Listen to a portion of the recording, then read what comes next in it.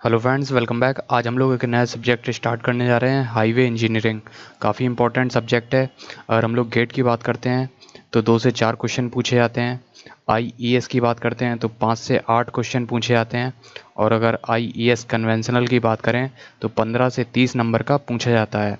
तो इसमें कौन कौन से हम लोग टॉपिक्स कवर करेंगे? पहला हो गया है इंट्रोडक्शन दूसरा हो गया है geometric design of rural highways तीसरा ट्रैफ़िक इंजीनियरिंग फिर डिज़ाइन ऑफ़ पेमेंट फिर highway material and testing and उसके बाद ट्रैफ़िक कंट्रोल एंड डिवाइसेस तो ये सारे टॉपिक्स हम लोग पढ़ेंगे, और अगर अभी तक आपने सब्सक्राइब नहीं किया है तो सब्सक्राइब कर लीजिए और साथ में बेल आइकन को भी प्रेस कर दीजिए, जिससे कि आने वाली वीडियोस का आपको नोटिफिकेशन मिलता रहे। और बाकी के लेक्चर की लिंक आपको डिस्क्रिप्शन में मिल जाएगी तो आप चेक करना मत भूलिए। तो चलिए स्टार्ट करते हैं। पहला चैप्टर है इंट्रोडक्शन तो दोस्तों, यहाँ से कई बार ऑब्जेक्टिव क्वेश्चन पूछे जाते हैं एसएससी हो चाहे वो आईईएस हो तो जो 20 ईयर रोड प्लान था, वो जयकार कमेटी ने सबसे पहले दिया था। जयकार कमेटी गेव 20 ईयर प्लान। तो यहाँ से क्वेश्चन पूछा जाता है, जो आईआरसी है इंडियन रोड कांग्रेस इसकी स्थापना कब हुई? ये हुई उन्नीस सौ चौंतीस में। तो ये इम्पोर्टेंट है। सेंट्रल रोड फंड सीआरएफ इसकी स्थापना उन्नीस सौ उनतीस में हुई। Central road research institute. इसकी स्थापना 1950 में हुई। तो आपको सिर्फ़ ये रटना है आईआरसी आगे क्वेश्चन यहाँ से पूछे जाते हैं कि कौन सा पहला 20 ईयर रोड प्लान था, या कौन सा दूसरा था, या कौन सा तीसरा था? और क्वेश्चन यहाँ से ये बनता है कि ये किस पैटर्न पे बने हैं। तो पहला 20 ईयर रोड प्लान था, वो था द नागपुर प्लान। और ये कब से कब तक था? ये 1943 से लेके उन्नीस तक चला। तो नागपुर रोड प्लान के तहत जो भी रोड्स बने, वो स्टार एंड ग्रिड पैटर्न पे बने। स्टार और ग्रिड पैटर्न कैसा होता है? देखिए, ये एक रोड यहाँ से आया, दूसरा रोड यहाँ से आया, तीसरा चौथ और चौथा। तो ये एक स्टार बन गया और ग्रिड पैटर्न ऐसा होता है। ये ग्रिड्स बनी होती हैं, ऐसा। तो ये हो गया है star and grid pattern second number का है द बॉम्बे प्लान नागपुर के बाद आया बॉम्बे प्लान। तो ये 1961 से 1981 के बीच चला। तीसरा रोड प्लान है, the Lucknow road plan national highways should form a square grid of 100 kilometre into 100 kilometre तो ये चीज़ें आपको ध्यान में नहीं रखनी है। बस इसमें यहाँ पे आईआरसी की स्थापना कब हुई और कौन सा प्लान पहले नंबर पे था, कौन सा दूसरे नंबर पे, कौन सा तीसरे नंबर पे? यहाँ से क्वेश्चन आईईएस में आया हुआ है. Length of various class of roads अगर आपको एरिया दे रखा हो और लेंथ ऑफ़ नेशनल हाईवे या स्टेट हाईवे या मेजर डिस्ट्रिक्ट रोड की निकालनी है लेंथ कितनी होगी तो उसके लिए फॉर्मूला है. तो पहला है length of national highway in kilometre तो यहाँ पे area in kilometre square upon पचास. तो यहाँ पे एरिया किलोमीटर स्क्वायर में दे रखा होगा. पचास से भाग दे देंगे तो लेंथ ऑफ़ नेशनल हाईवे निकल आएगा कि 100 किलोमीटर स्क्वायर एरिया के लिए हम लोगों को कितने किलोमीटर नेशनल हाईवे बनाना है।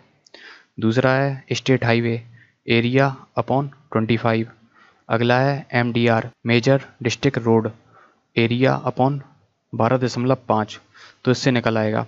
अगर यहाँ पे एरिया 100 किलोमीटर स्क्वायर दे रखा है तो 100 किलोमीटर स्क्वायर के लिए हम लोगों को दो किलोमीटर एनएच बनाना पड़ेगा। ठीक है? और चार किलोमीटर एस एच बनाना पड़ेगा, यानी स्टेट हाईवे। आगे बात करते हैं, यहाँ से क्वेश्चन पूछा जाता है कि जो चंडीगढ़ है, उसमें कैसा रोड पैटर्न दिया गया है? तो यहाँ पे दिया गया है रेक्टेंगुलर एंड ब्लॉक पैटर्न तो यहाँ पे सारे रोड्स परपेंडिकुलर आके मिलते हैं रेक्टेंगुलर हैं पूरा।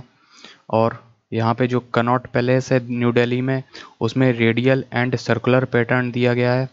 रेडियल एंड सर्कुलर पैटर्न यानी ऐसा। ये हो गया है रेडियल और ये हो गया है सर्कुलर तो कनॉट पैलेस में ऐसा पैटर्न दिया गया है और जो नागपुर रोड प्लान है उसमें स्टार एंड ग्रिड पैटर्न दिया गया है. यहाँ पे चंडीगढ़ में कुछ ऐसा दिया गया है. सारे रोड्स ऐसे बने हैं यहाँ पे. आगे बात करते हैं engineering survey for highway locations तो यहाँ से आईईएस में क्वेश्चन पूछा गया है.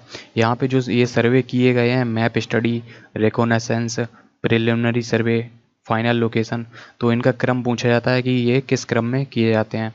तो पहला हो गया है मैप स्टडी मैप स्टडी हम लोग क्यों करते हैं? तो हम लोगों को अगर हाईवे की लोकेशन पता करनी है कि हाईवे कहाँ से निकलेगा तो मैप स्टडी से हम लोग बहुत सारे रूट्स एक बार में देख के पता कर सकते हैं कि अल्टरनेट और कौन कौन से रूट्स हो सकते हैं। तो मैप में आसानी से देख के ये सब चीज़ें पता चल सकती हैं। तो map study to find several possible alternate routes फिर उसके बाद करते हैं हम लोग रिकोनेसेंस सर्वे तो जो चीज़ें मैप में पता नहीं चल पाती हैं, वो हम लोग वहाँ पे फिर फ़ील्ड में जाके पता करते हैं। जैसे वहाँ पे वैलीज़ कितनी हैं पॉन्ड कितने हैं सॉइल का टाइप क्या है approximate values of gradient cross drainage structures कितने हम लोगों को पुल बनाना पड़ेंगे ब्रिज बनाना पड़ेंगे। To examine general character of area for deciding most feasible route all relevant details not available in map collected and noted down तो जो सबसे बेस्ट रूट कौन सा होगा तो वो पता लगाने के लिए हम लोग ये सारी चीज़ें पता लगाते हैं कि किस रूट में कौन कौन सी चीज़ें पड़ रही हैं। तो जिसमें सबसे ज़्यादा आसानी होगी तो वही रूट हम लोग चूज़ करेंगे फिर। जो चीज़ें हम लोगों को मैप में पता नहीं चल पाती हैं तो वो हम लोग रिकोनेसेंस सर्वे के द्वारा पता करते हैं।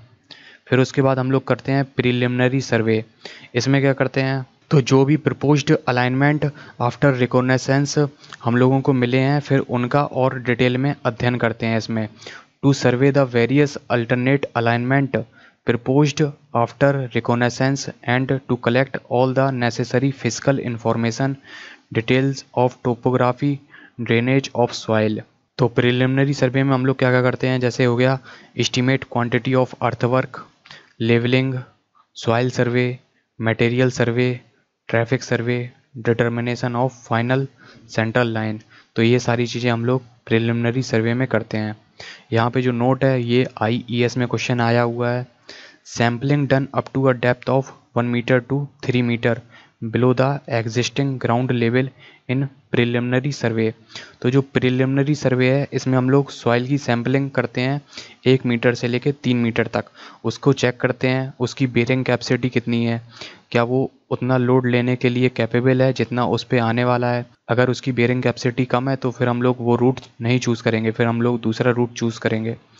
Suitability of proposed location finally selected based on soil survey data तो जो फाइनल रूट होगा, वो सॉइल सर्वे डेटा के आधार पे ही हम लोग चूज़ करेंगे। अगला है final location and detail survey the alignment finalised after preliminary survey on the field by establishing the central line तो final location and detail survey में क्या करते हैं? हम लोग सेंट्रल लाइन को इस्टेब्लिश करते हैं। जो भी फाइनल रूट हम लोगों को प्रिलिमिनरी सर्वे के बाद मिला है, उसमें हम लोग सेंट्रल लाइन को फिर इस्टेब्लिश करते हैं। तो यहाँ पे थोड़ा थोड़ा जानने की ज़रूरत है, बस क्वेश्चन ये पूछा जाता है कि कौन सा सर्वे पहले करते हैं, फिर कौन सा दूसरे नंबर पे करते हैं, फिर तीसरे नंबर पे कौन सा करते हैं, फिर चौथे नंबर पे कौन सा करते हैं। आगे है क्लासिफिकेशन ऑफ़ रोड्स यहाँ से क्वेश्चन आया हुआ है। तो प्राइमरी सिस्टम में एक्सप्रेसवेज और नेशनल हाईवेज आते हैं। और जो नेशनल हाईवेज पे माइल स्टोन लगा होता है, मील का पत्थर, उसका कलर येलो कलर होता है। ये जेई में क्वेश्चन पूछा जाता है। अगला है सेकेंडरी सिस्टम तो सेकेंडरी सिस्टम में स्टेट हाईवेज आते हैं एमडीआर आते हैं मेजर डिस्ट्रिक्ट रोड्स तो जो स्टेट हाईवे पे माइल स्टोन लगा होता है, उसका कलर ग्रीन होता है। और जो मेजर डिस्ट्रिक्ट रोड होता है, उसका कलर ब्लैक या ब्लू होता है। जो माइल लगा होता है, उसका कलर ब्लैक या ब्लू होता है। अगला है टर्सरी सिस्टम रूरल रोड्स तो रूरल रोड्स में आते हैं अदर डिस्ट्रिक्ट रोड्स या विलेज रोड्स अगर यहाँ पे जो माइल स्टोन है, अगर उसका कलर ऑरेंज है तो समझ लीजिए आप विलेज रोड्स में चल रहे हैं। तो दोस्तों, ये आपका इंट्रोडक्शन कवर हो गया है। आगे हम लोग कवर करेंगे geometric design of rural highways तो अगर अभी तक आपने सब्सक्राइब नहीं किया है तो सब्सक्राइब कर लीजिए और साथ में बेल आइकन को भी प्रेस कर दीजिए, जिससे कि आने वाली वीडियोस का आपको नोटिफिकेशन मिलता रहे। और डिस्क्रिप्शन को चेक करना मत भूलिए। वीडियो पसंद आई हो तो अपने दोस्तों के साथ शेयर ज़रूर कीजिए। मिलते हैं अगली वीडियो में। Thank you